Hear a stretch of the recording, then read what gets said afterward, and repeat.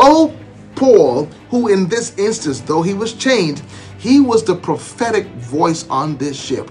And as the prophetic voice on this ship, he spoke a word to them and he says, Men, don't take this journey now. This is the wrong time and this is the wrong way to go. Let's use this now in contemporary times. How often in our country, wherever you are in this world now, have you heard prophetic voices in our land warning of the path and the journey that we have been on in our nation, where we've been choosing material gain over spiritual counsel, where we've been choosing to please our flesh over denying the flesh that we might please God.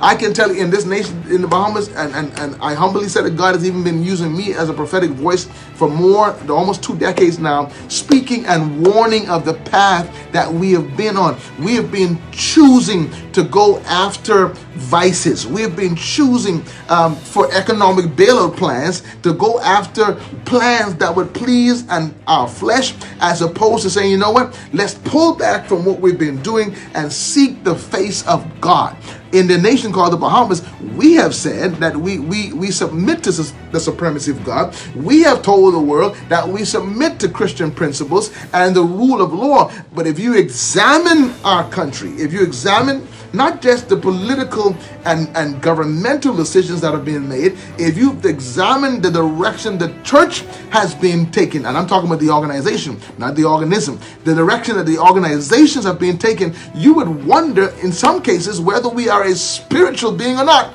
Because we have been choosing to be as carnal as ever the, the since the new millennial has come in in particular, there's been one exposure after the next as regarding men in high office in the church, women in high office in the church, and where, whereby the church has had, had to held her head and and and be and, and has been in great shame and dismay because though people are performing their spiritual duties on a Sunday or even in a Saturday in the case of the Adventists, their lifestyle during the week has not been that of holiness or godliness.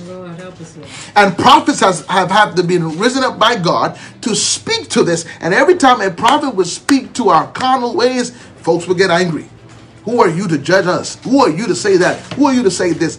But who's going to say it if true prophetic voices don't rise up and say, This path that you are taking is wrong? It leads to damnation. You, you, are, you are seeking more after your material well being than your spiritual well being. I referenced this not long ago. I talked about the parable that Christ gave in the Synoptic Gospels. He said there was a rich man who, whose barns were full to capacity.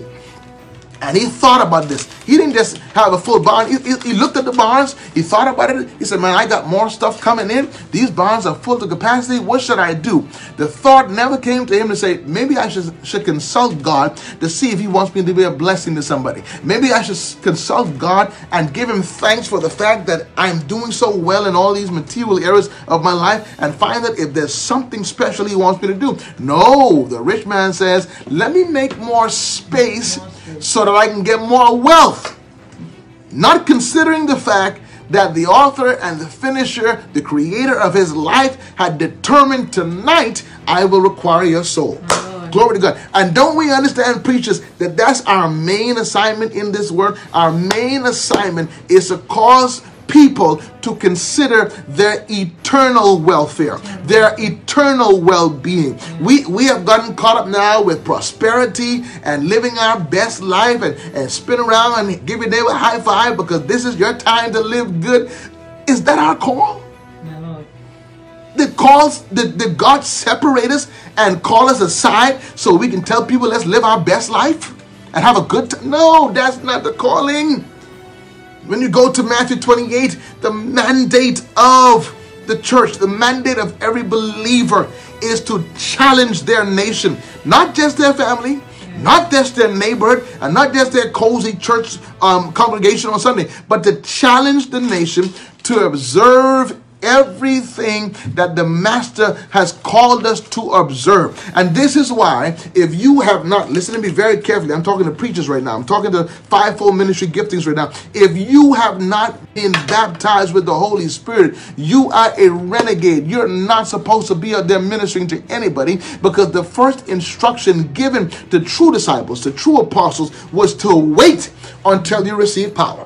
When you receive this power, it equips you to represent the kingdom officially. It makes you an official, it makes you an authorized representative of the kingdom of God. Why? Because the Holy Spirit is going to empower you to submit your your carnal desires. It's gonna it's gonna empower. He's gonna empower you to bring the flesh under submission to the spirit. The flesh and the spirit are always at enmity with each other. This is what it says in the book of Romans and Corinthians teaches this as well. They're at enmity with each other. The only way that you're gonna have victory over your carnal desires is to have the infilling of the Holy Spirit, who will empower you to live a godly life. Glory to God.